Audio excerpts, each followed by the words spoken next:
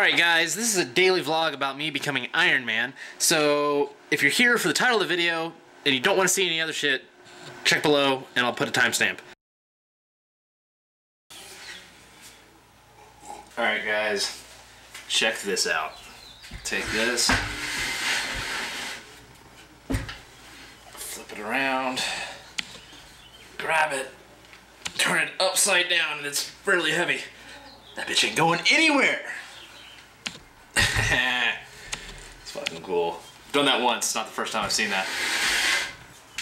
But this thing is fucking awesome, guys. Look, so this right here, here's the Mitee-Bites. This one got all knurled up because I was using it to put in the threads. But anyway, these go in here and here. So there's three of them. One, two, three. And as they get tightened, they get pulled in and pinch into this. And then they're pressed against this. This seems to be working just fine. Yep, don't see it moving at all, which is good. See a few bubbles that form in here, but it looks pretty good. Um, so these clamp in here, clamp into here, and then this thing is gonna get machined, and then move forward, machine, move forward, machine, move forward, machined. I have two that I can put right here at the end, and then um, there's gonna be a pin that I cut in here when I cut the first part that'll then move up, and that way I know it's an exact right spot every single time, um, which is awesome. So this is going to work. Doesn't have to work for long, just has to work to get this done, and this is what I'm going to be building off of after that. Excited! So, and then these ones that come in here, these ones right here, hold it after I've taken the perimeter off of this and made it to the exact right size. That's what these are for. These then hold it at that position. So um, I can hold both the raw stock and then flip it and do the other side once it's been cut to size.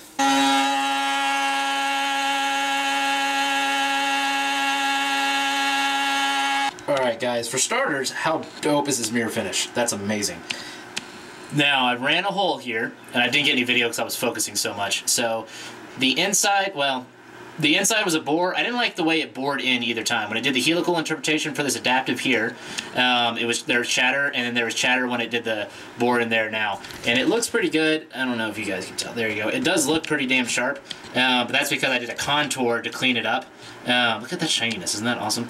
Um, I did a contour to clean it up, both the inside and the outside, so it looks really solid, but um, it's not, wasn't a great way to do it, and it would not be good for tool life. It would not be good for tool life, and it, um, not really great for the machine either, I don't think. Mostly tool life. And then this I know to be just about half a thou under um, a half of an inch, and this is supposed to be a half inch hole, and it will not go in there. Um, and I measured this, I think it's was it three, four thou undersized, which is a problem I've been having with my machine, and I'm not sure why, um, but it's just making everything a little small. I should measure the outside of this.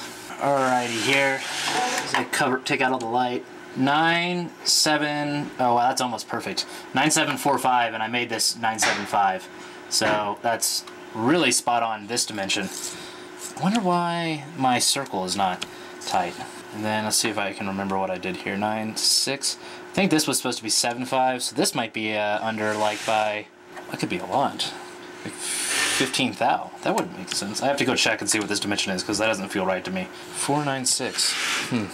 Alright guys, so I got the numbers from upstairs. That distance that I thought was accurate um, is actually not. And these are all my notes, but essentially this is the error right here. So um, in the Y, and in the X, so this way and this way on that part, they're both a little bit bigger by almost 10 thou, um, 0.09, 0095 thousandths of an inch.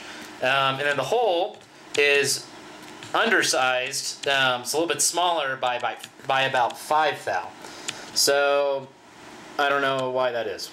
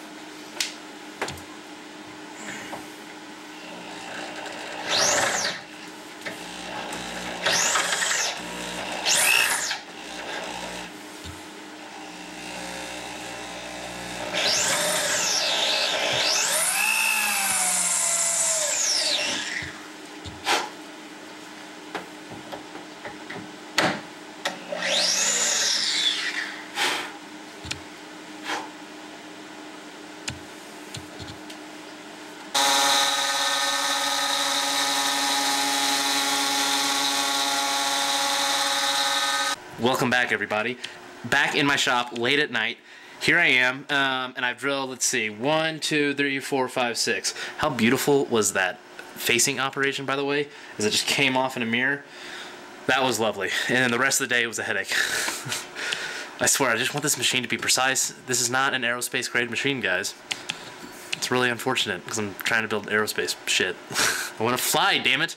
Anyway, um, the top of this is really nice. In fact, these holes all look pretty nice too, I dare say. They're all, they all look good. They're all visually nice. They're visually appealing.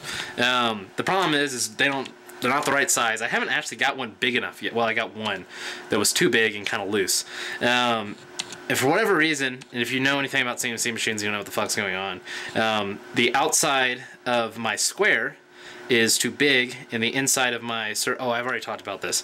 I was just going over it again. But anyway, and I can't get it right. And I you can go into stock to leave in Fusion 360 and change it, um, and you can do negative, and it'll actually cut off more than it suggests. And even so, I'm, I'm just having trouble with it. I just think I'm not going to get a super awesome, exactly precise fit on this thing, which means I may even have to tram in some of the uh, modular vices, which is the entire point of having a modular vice, not the entire point, but one of the main points of having a modular vice system is you don't have to fucking tram them. Well, I might have, end up having to tram some parts, but anyway, I tried like, let's, I think one, two, three, four, I think I tried five times.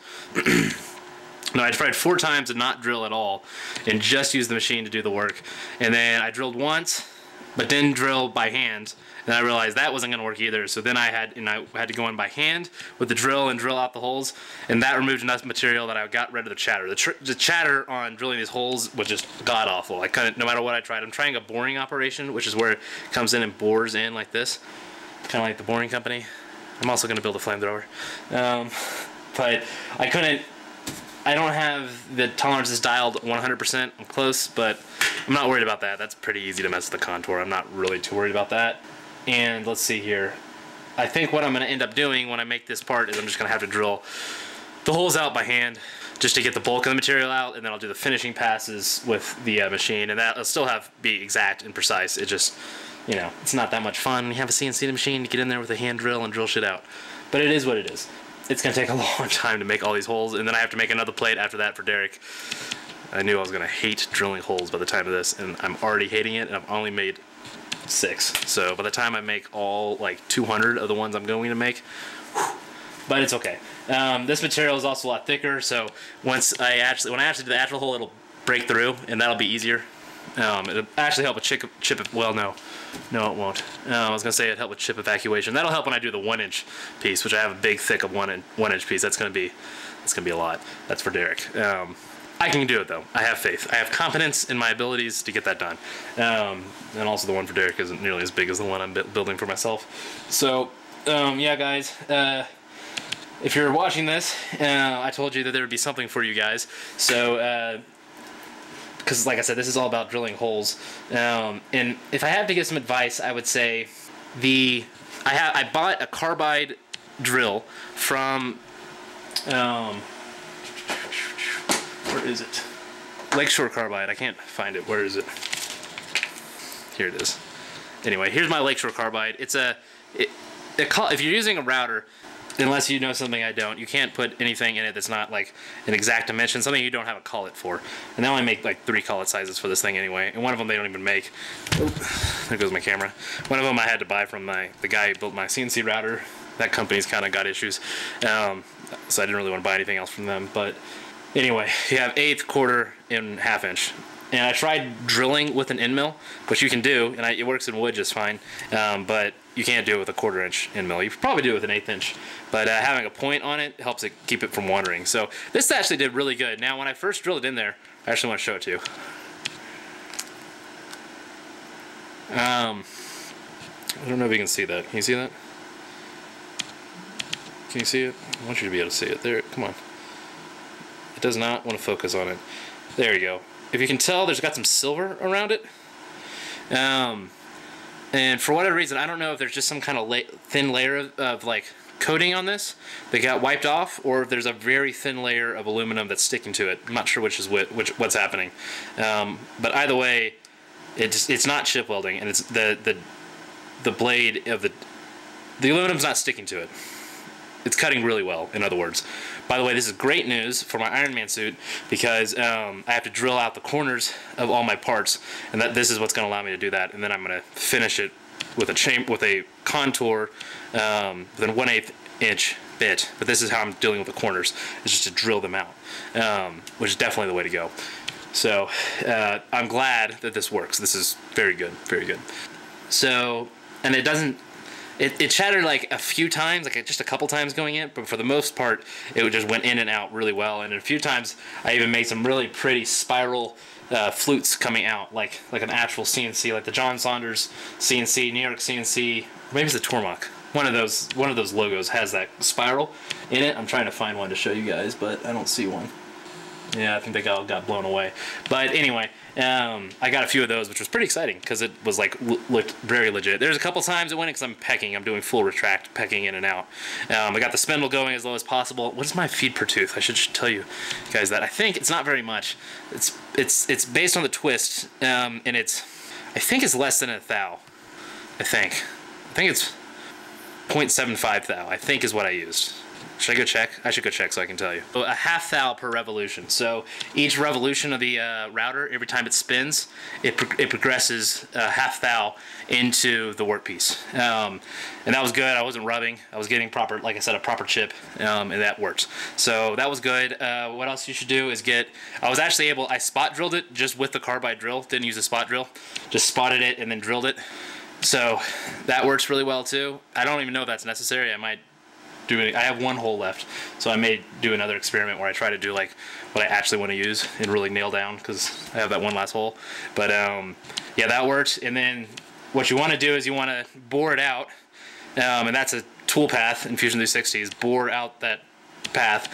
And then what you want to do is come in with a contour. So do stock to leave, so leave some stock in there. I, I think I left like two thou, two or three thou, not very much, because um, I, I want that board to have as much room to get chips out as possible. Um, and that is like a very small um, chip load as well. I think that might be like, I think that's like 0.2 um, thou, which is very thin. I may even bump that because you don't want to rub and produce heat and melt the metal. You want to actually cut it and shear it away. I might bump that up just a little bit because I got rid of the chatter by cutting everything out with the end mill. I might bump that up a little bit, maybe all the way up to half, maybe like three or four, um, point three or four thou, not three or four thou. That'd be a huge chip load but something like that. I'm covered in dust. So then you want to bore it down, and then you want to go in and do a 2D contour to cut it, to cut it, and that's how you make a very pretty part. Um, obviously, you could use a reamer. Uh, you could take a reamer and um, put it in a drill and do that after, but it wouldn't be all concentric and stuff. Assuming you had a, a very straight machine. Now my machine is not super straight, so I think in the X it's a little bit a little bit oblong. I think it's a little bit wider in the X than it is in the Y. I'm not sure why that is. Um, it's just not a perfect machine. I'm just going to have to accept that it's not a perfect machine. Uh, I need a Tormach, guys. Buy me a Tormach. Subscribe to my channel so I can buy a Tormach. Um, yeah, that's about it. I hope maybe that helps someone. I don't know. If not, you know, whatever. This is my journey to become Iron Man. That's what I did today. Lots of holes. Bye.